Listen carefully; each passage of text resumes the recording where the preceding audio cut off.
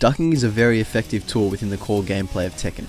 Some people only know it for the basic reason, which is to attack low or do a mid gut punch. What people aren't aware of is, it can be used to turn the tide of the entire game. What I mean by this is, when an opponent does a string of high moves, you don't have to stand there blocking, you can just duck. Ducking not only makes them miss, but gives you a prime opportunity to land a launch plus full combo.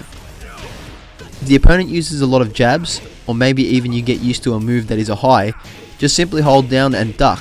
And once the move goes over your head, you are free to use whatever move you desire, as launchers easily have enough time to land. Opponents generally have a pattern of moves they like to use. No one ever really uses all the moves in their arsenal.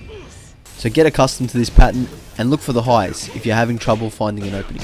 Stay tuned for more tips coming your way guys. Peace.